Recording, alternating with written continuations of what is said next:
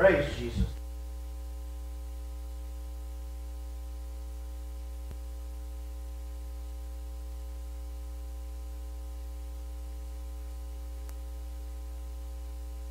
church. I'm glad we're informal enough to laugh and tell jokes and rib one another and make fun of Frank Warren and all the things that we can do. By the way, I want to commend Brother Nelson. None of you I know observe this, but I did. Sitting up here, I observed some things that you don't observe. Uh, our ushers uh, went down the aisle and collected offering as usual walked right out the door. Brother Nelson was over there waving a check or some money or something, trying to give an offering. They just passed right on by and went on to the back. And Brother Nelson chased them down. He went around it. How many people do you know that would chase people down to give an offering? Uh, there, there's not many of them, I'll bet you. I know some of you wouldn't do it. Thank you, Brother Nelson. He's giving, giving man my hugging buddy. He, he loves to give. So we appreciate you, Brother Nelson. Thanks. I've got a question for you this morning. And I don't want you to just quickly answer this question in your heart or in your mind, or with your mouth if you want to. But I want you to ponder this question. I'm going to ask the question, and what I actually want you to do when I ask this question, I want you to Selah. Amen. I want you to Selah. Amen. How many of you know what that means? Know, there are many verses in the book of Psalms that end with the word Selah. S E L A H, Selah. How many of you know what Selah means? Selah literally, biblically means stop and think on that a while. Stop and ponder that. Stop and think on that a while. In modern day vernacular, we'd say, stop and chew on that a while. That's what it literally means. Stop and think about it. Stop and chew on that a while. It means give it some contemplation. Don't just glibly answer the question, but think about it. Ponder it in your heart. Chew on it for a while. Here's the question What kind of Christian are you?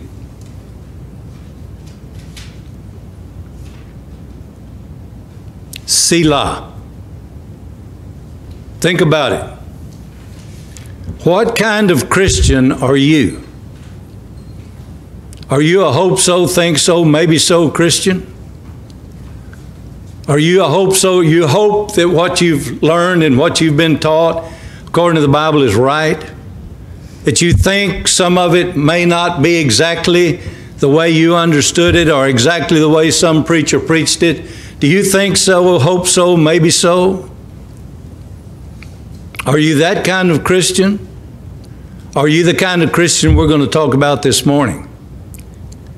I call it the can do Christian. The can do Christian. This was my dad's life verse. If you walked into my dad's office, and as most of you know, my dad was a pastor 55 and a half years.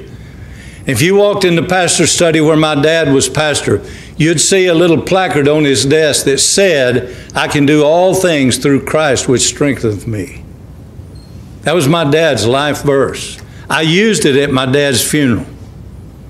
I used it as the text for my funeral message for my dad. It's found in Philippians 4:13. If you want to turn there, it's just one single verse, short verse, but oh, what a powerful short verse. Listen to what the Bible says in Philippians 4:13. I can do all things through Christ which strengtheneth me. You talk about a verse loaded with truth. There's a verse loaded with truth. What do we find in this verse? First of all, we find a personal promise. We find a personal promise. Paul said, I, I can do all things. Do you, when you read the Bible, do you personalize it? Do you put yourself in the place of, and we've used this illustration multitudes of times. Let's say you're reading again John 3.16 or you're quoting John 3.16. Instead of saying, For God so loved the world, put your name there. Personalize it. If I was saying it, I'd say, For God so loved Mickey Fugitt that he gave his only begotten Son. Make the Bible personal to you. The, the promises of God in the Bible, uh, according to the Word, are yea and amen to you, to, to me, to whoever's reading it. It's yea and amen to you. In other words, you can put it in the bank, you can count on it because it's God's Word, and God's Word doesn't change. Society might change. You know, all kinds of things may change around you in the world, but God's word doesn't change. The psalmist said, Thy word, O Lord, is settled forever in heaven. Book of Revelation tells us, don't you take away from it, don't you add to it. It's God's complete and total word. It's God's truth without any mixture of error whatsoever. Do you believe it? You live like you believe it? It's a personal promise. I can do all things. Bring the Bible to you individually. Make it personal to you, and it'll make a difference in your life. Not only will you find here a personal promise, but we find a powerful prospect. A powerful prospect. What's the prospect? I can do. I can do. How many times have you caught yourself saying, I can't do that. I can't. I can't. I heard a Baptist preacher say one time the can't's the worst disease ever got in a Baptist church. Oh, what do we need to do? Well, you know, we need some new facilities. Oh, we can't do that. Can't do that. We need a new project. We need it. Oh, we can't do that. Why not? Can't afford it. Hey, I, I got news for you folks. God ain't broke. If you're doing God's will, God's way, God will foot the bill. Let me tell you for a fact. I pastored a church, been there two and a half months, and the roof and ceiling of the church fell in. Somebody said, Well, what'd you have in the building fund? Nothing. We didn't have a building fund. Sitting there in the building and been deteriorating for years and years. You could walk in the building and you could see on the north wall a noticeable lean where there was construction failure, people wouldn't sit on that side of the building because they said, one of these days that's liable to fall in, so everybody sat over here. When it finally fell in, guess where it fell in? Right over here. With enough force to just destroy pews. People would have been killed if it had been during time of service. But it happened in the wee hours of a morning on Saturday morning. And that Saturday morning later, we went in there, and a bunch of me and other dumb men doing stupid things went in there and jerked up pews and hauled them down to the fellowship hall and put them in the fellowship hall so that we could meet down there while uh, they were repairing or building a new building. Everybody said, for years, for years. That building had been like that since it was, it was like 48 years old or something like that. For 48 years, that building sat there, and everybody said, you know, we need a new building, we need a new building, but we can't, we can't, we can't. We can't do it, can't afford it, can't do it. Well, when God forced the issue, guess what happened? Built a brand new, beautiful auditorium to seat 300 people, paid for it in three years. Oh, but we can't do it. We can't do it. We can't do it. Are you a can't do it Christian or are you a can do Christian? We can do whatever God says we can do because God will take care of us and foot the bill if need be. We've seen it happen right here. Some of you that are newer don't know we're supposed to have to close the doors about three or four years ago. However long, how long ago was that, Gary? Gary keeps up with these things about four years ago. Things didn't pick up. We was getting ready to maybe close the doors. All of a sudden, there appeared a 40 something thousand dollar gift to the church out of the blue. Hey, God's not broke. God's got, I, I got tickled. The preacher said, You know, the Bible says God's own, God owns the cattle on a thousand hills. Said he not only owns the cattle on a thousand hills, he owns the, owns the hills and the taters in the hills and the bugs on the taters. I've never seen the righteous forsaken nor his seed begging bread. Roger already quoted that this morning. Hey, God will take care of his children if he has to move heaven and earth. He did it in the wilderness when he sent manna from heaven. He sent quails from heaven. He sent it from heaven to take care of his children. God will take care of you. We sing it, we just don't believe it. God will take care of you. God will take care of you. It's a fact, He will. It's a powerful prospect. It's not only that, it's a permanent potential. A permanent potential. I can do what? All things. All things. That includes everything. That, that's a permanent thing. If it's all things, it's all things. Amen? The Bible says in Ephesians 5:20, giving thanks always for all things to God and the Father in the name of the Lord Jesus Christ. You know, when you talk about giving thanks, I've heard preachers get up and preach and quote 1 Thessalonians 5:18, which says what? In everything give thanks, for this is the will of God in Christ Jesus concerning you, right? In everything give thanks. I've heard preachers stand up and say, and I even heard my own father say it one time, and I corrected him. Now, I know it's not right to correct your father unless he's biblically incorrect, and I think it's okay then. I heard other preachers say it. I heard my own father say it. The Bible says, in everything give thanks, but it doesn't say give thanks for everything. And I just I said, what do you do with Ephesians 5.20? Giving thanks always for all things. Giving thanks always for all things. In the name of the Father, in the name of the Lord Jesus Christ. What do you do about that? You say, well, I just don't believe you can give thanks in all things. Then, then apparently you don't believe the Bible. Because the Bible says you can. Bible says you can be giving thanks always for all things. Yeah, but some are bad things. How do you know? God will take something you think's bad and turn it for good. Five people on our trip to St. Kitts to do mission work were killed in a plane crash. That's bad, people said. That's awful. That's tragedy. But God turned it around for good. My dad, for years, had wanted to go down and fund a library and start a school for young preacher boys there on St. Kitts Island, where he helped establish the First Baptist Church on the island of St. Kitts. But he never was able to do it, didn't have financial resources to do it till after the plane crash.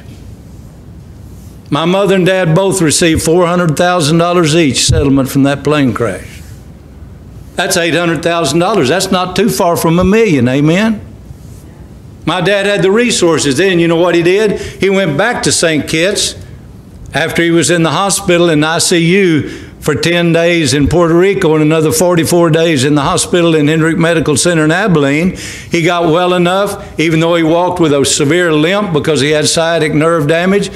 He, he, he went back down, funded a library, and started a church for those preacher boys down there. Oh, it was bad when those people got killed, but God turned it around for good. You say, well, are you grateful for that plane crash? Not particularly grateful for it, but I can give God thanks for it. Through it, I got to go back to St. Thomas Island and do an island wide crusade. You know what I'd experienced on St. Thomas before that as a U.S. Navy sailor? Hit the port and go to the nearest bar and get drunk till you can't stand up and go back to the ship. And God let me go down and restore those years that the cankerworm and the caterpillar had eaten. And God let me preach a uh, uh, an island wide crusade on St. Thomas Island and saw people come to Jesus on the very island where I'd been what I shouldn't have been. Praise God. What the potential. I can do all things. Then look at the perfect person the perfect person through Christ. I can do all things through Christ. If it wasn't for him, I got news for you. If it wasn't for him, you know what you could do? Nothing. Absolutely nothing. Jesus said, I'm the vine, you're the branches. Without me, you can do nothing. You think Jesus told the truth? Then what do you think you can do without him? That's right. You can do exactly nothing without him. But with him, with him, listen, with him, all things are possible. There's nothing Jesus cannot do. God is God. And God can do whatever God wills and chooses to do just because He's God and you and the devil and all the demons in hell, all the unbelievers and agnostics in the world can't do one thing about it because God is God and above Him there is none else. I can do all things through Christ, the perfect person. I can do all things through Christ which strengtheneth me. You know what that is?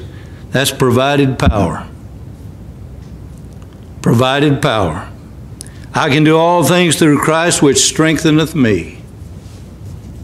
I, know I've shared this illustration before, but I know you forgot it as soon as I said it. But I traveled in, in an evangelistic ministry, did revivals all over the country for five years, did 30 to 36 revivals a year all over the country for five years. And sometimes during the middle of a three or four week stretch of doing three or four meetings in a, in a row, I'd get tired and bone weary. And I'd be really nearly to the point of just giving up. And I was reminded by a fellow evangelist one time when you get that way, just go to Isaiah 40 31. Claim the promise of God. It's become one of my favorite verses in all of Scripture. What does it say in Isaiah 40 31? They that wait upon the Lord shall renew their strength. They shall mount up with wings as eagles. They shall run and not be weary. They shall walk and not faint. And in the middle of that week, when I was just about ready to collapse and give up, I, would say that verse, and it was like the Lord would give me a supernatural uh, input of energy, and I'd just go for it. Not through me. I was ready to lay down and nap for about three days. But through Jesus Christ, all things are possible. I can do all things through Christ, which strengtheneth me. Are you a think so, hope so, maybe so Christian? Are you a can do Christian? Let me just ask you out of curiosity what do you think we as a church ought to be doing?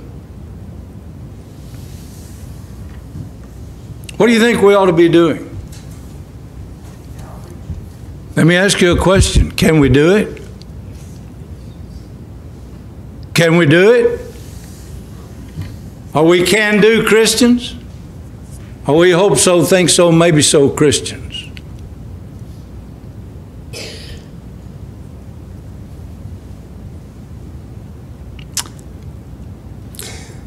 I know beyond any shadow of a doubt why my dad took that as his life verse. Because he was told when he surrendered to the ministry, when he was saved in his middle 20s, as a 28 year old young farmer when he was saved and surrendered to the ministry and sold out the farm and moved his family. Already had two children, my sister and I, to Abilene, Texas to start his education in Hardin Simmons University. He had only gone to his sophomore year in high school, had to get a GED and start college. When he sold out the farm and left, his own daddy told him he was crazy. Everybody that knew him thought he was crazy because of what he did said, You'll never make it. You'll never make it. You'll be back on the farm within a year. You'll never make it. Well, he made it for 55 and a half years in the ministry. Very, very successful minister. You know why? He said, I can do all things through Christ which strengtheneth me. And because of his testimony, That's why I'm where I am today. That's why the God's allowed me to preach the gospel for over 51 years. Because my dad was a can do Christian. And I want to be a can do Christian like him. I want all of us to become can do Christians and show the world what we can do as God's people. Amen. Let's stand together.